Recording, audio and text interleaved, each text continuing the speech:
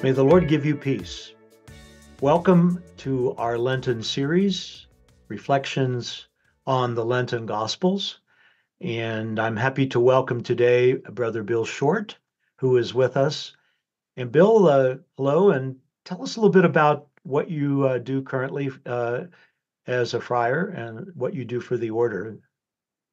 Well, as as we're speaking right now, I'm at the Franciscan School of Theology at the University of San Diego, uh, doing a little teaching here during the uh, the interval between the fall and spring semesters. I'll shortly be going back to my residence, my usual place of residence, which is St. Isidore's College in Rome.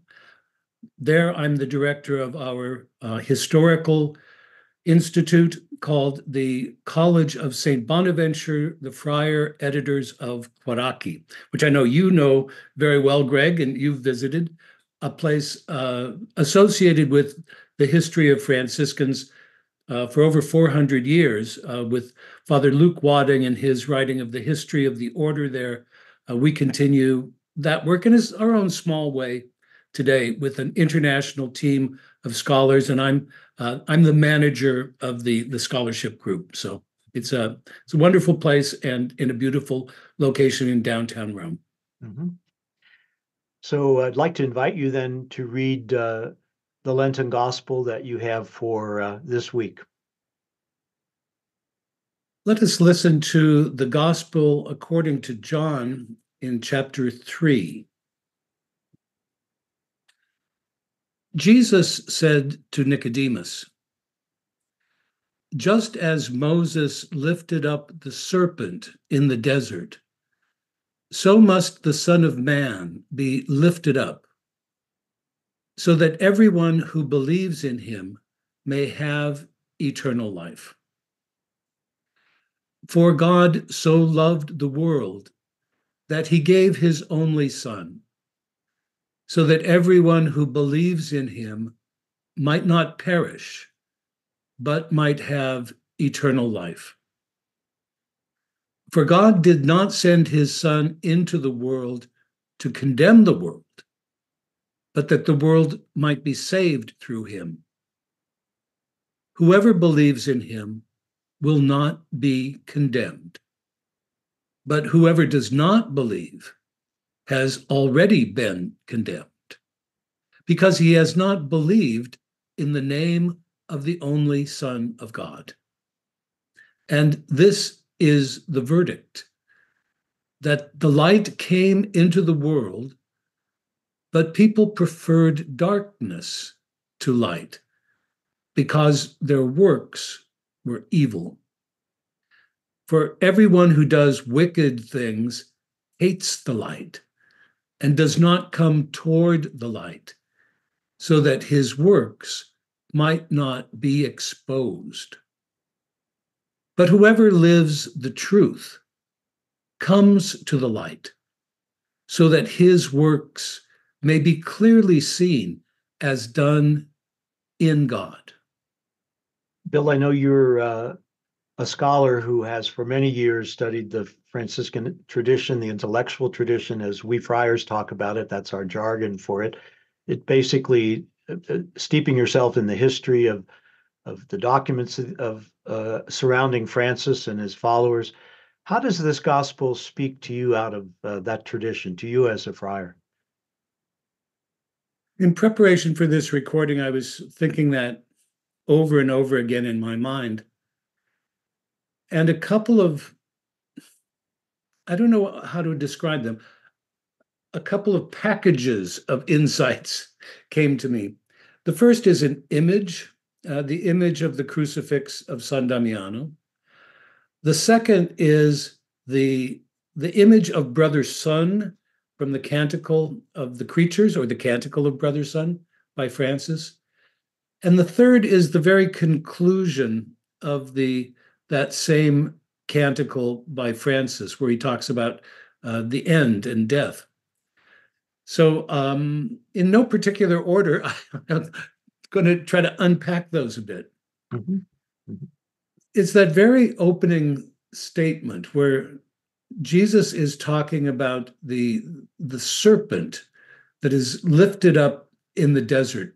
And we're familiar with that story from the Old Testament that all of those who looked at this bronze image of a serpent were healed from the snake bites, poisonous snake bites uh, that they had received.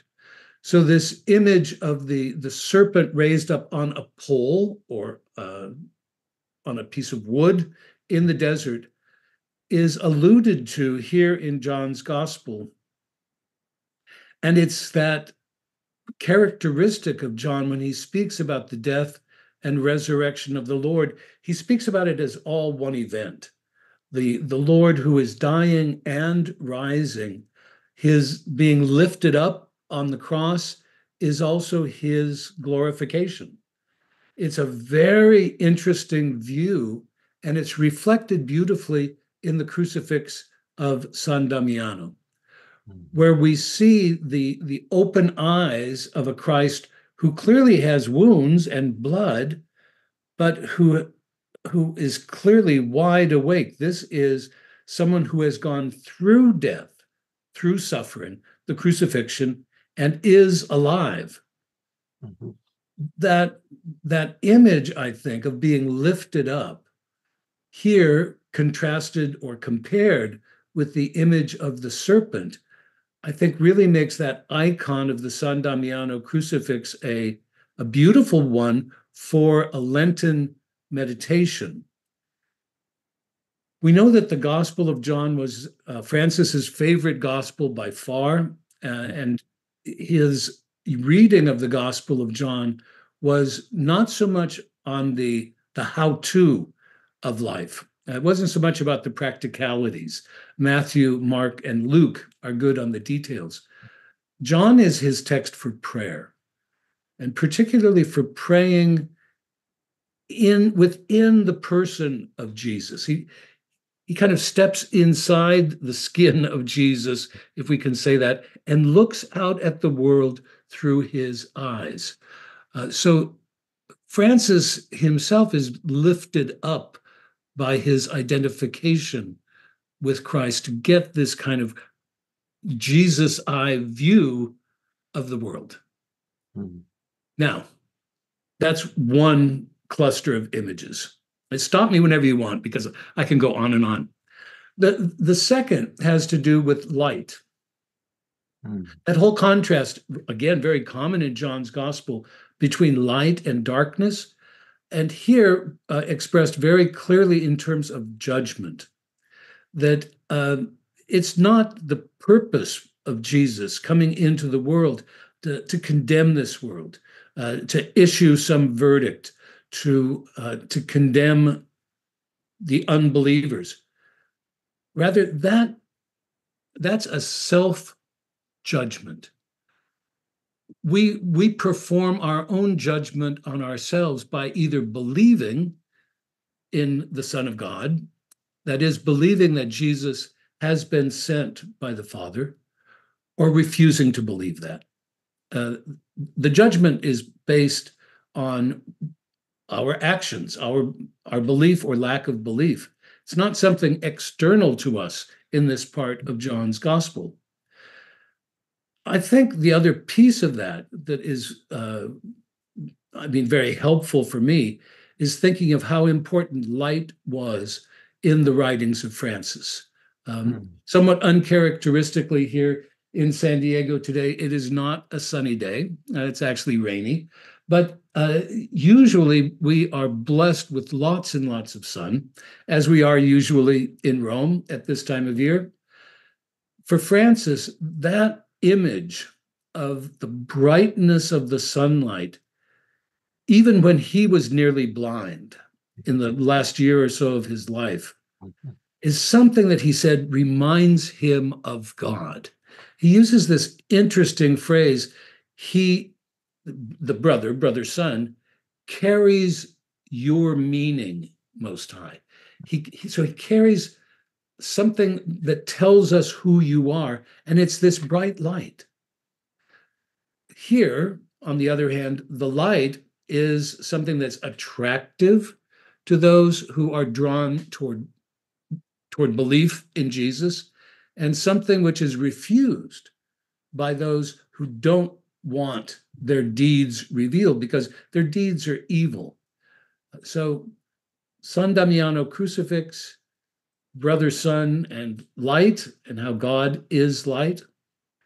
And the third one is at the end of the canticle, the part maybe that we don't like so much, where Francis says, Woe to those who die in mortal sin. So, woe to those who die hating the light, uh, hating God, uh, hating the Son who has been sent into the world, uh, not to condemn it, but to save it. Um, and blessed are those who will be found in your most holy will. Um, and what is God's will? Uh, that we should believe in Jesus, whom he has sent.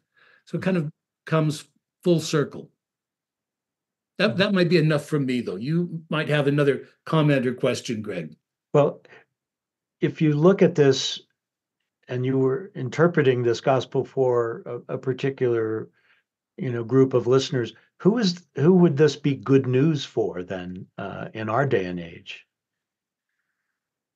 well i think it's especially good news for for anyone who lives with an image of a wrathful god mm-hmm. um, a god who is who is determined to punish uh, to to inflict suffering and I think it's a very good corrective to views also about why Christ came that are very, um, very much opposed, contrary to our Franciscan tradition. Um, the Father sends the Son out of love. It's it's not a payment uh, to the devil or to someone else to atone for the sin of Adam. That's not the purpose.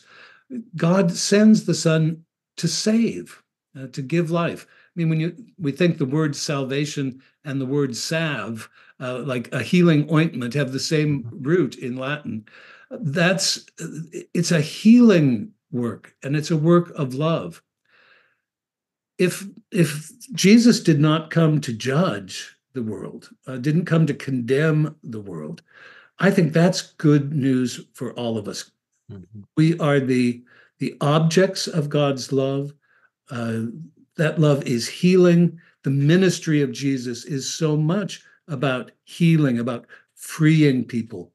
So I would say for anyone, a Catholic or otherwise, hmm. who has been kind of brought up or ingrained with an idea of a wrathful God uh, who's constantly condemning, uh, this gospel is very good news. Mm-hmm. That's just not the way it is. Mm-hmm. I, think there's a kinship between our time and the time of Francis. Uh, Francis lived in a time of an institutional church, caught up in in the medieval world with politics and warfare and so forth, and and his his view cut through a lot of that for the ordinary folks, didn't it? Yeah, I think this the genius of Francis is his simplicity. That is to look at especially the words of Jesus, in his view, the words that are literally spoken by Jesus in the gospel. We generally don't look at the scripture that way today as a, a kind of tape recording. But in the Middle Ages, that would have been a common way to read the scriptures. He's not so interested in the details of the evangelist, uh, the gospel writer, talking about it was a nice day, people were out fishing, uh, mm-hmm. someone was sitting under a fig tree. He's not too interested in that. He says, Where is Jesus speaking or doing something? That's what I'm interested in. And in his preaching that and his writing, that's what he focuses on.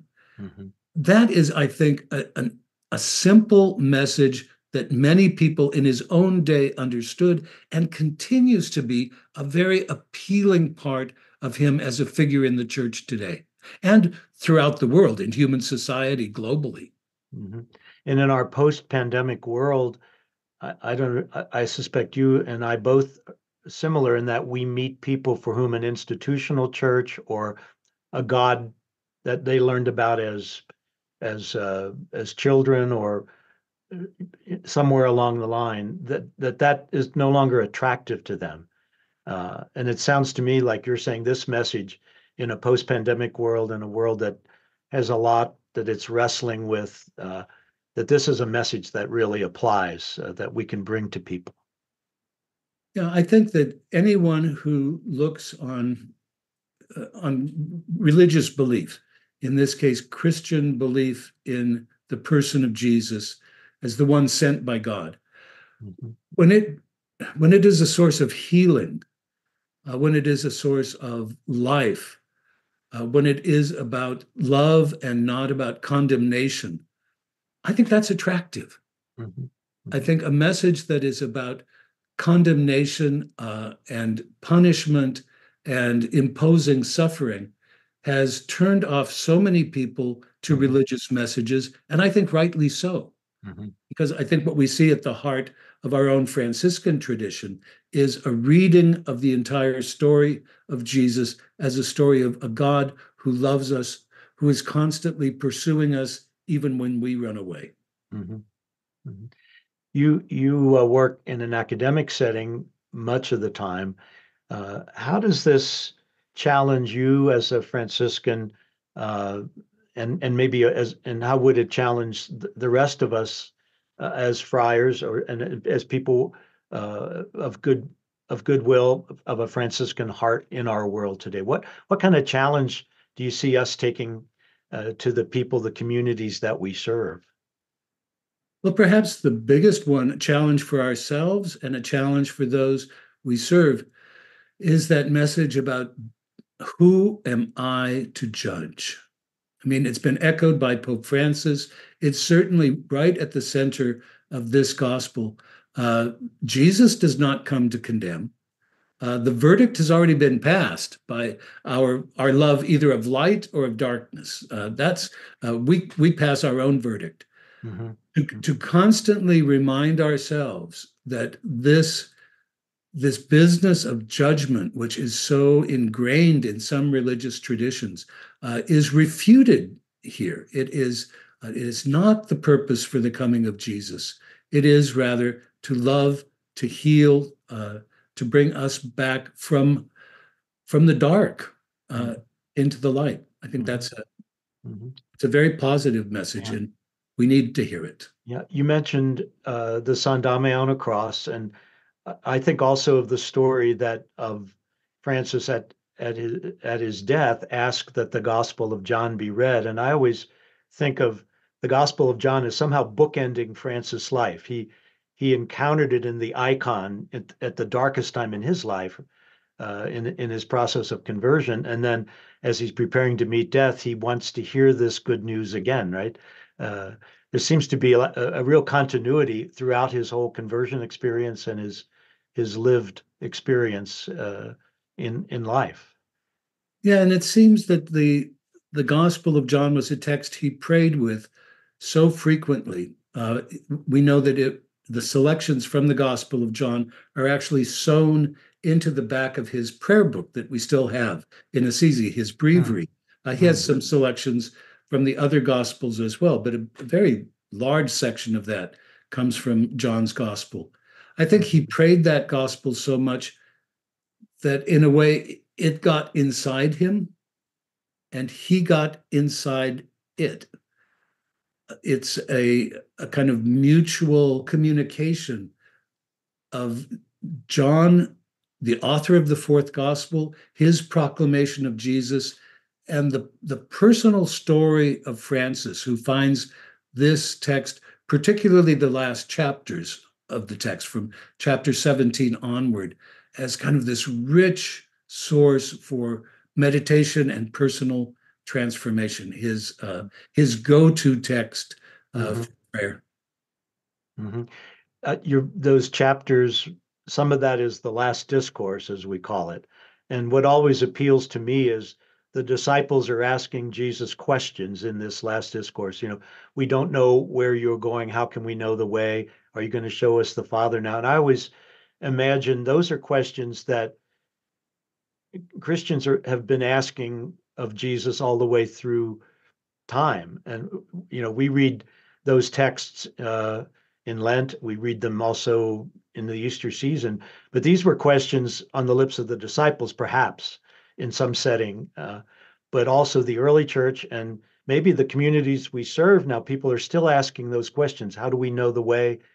Will is this way? You know, how will we uh, show the world the Father? You know, as you ask us to do, and so forth. These are these questions are are uh, in some ways still valid for all of us today when when we are with a group of people that we're that we're ministering among huh well and i think if we read the the gospel of john in the section just before this sunday's gospel uh, it is actually a question and answer session with nicodemus mm-hmm. and it seems that there are some other disciples around as well and jesus is kind kind of saying but nicodemus you know you're you're a teacher of the law and you you can't figure out these things i mean come on yeah. uh, and nicodemus is this really kind of engaging character so many of us i think can identify with him who's who's almost but not quite he wants to believe but he can't quite get there his whole formation and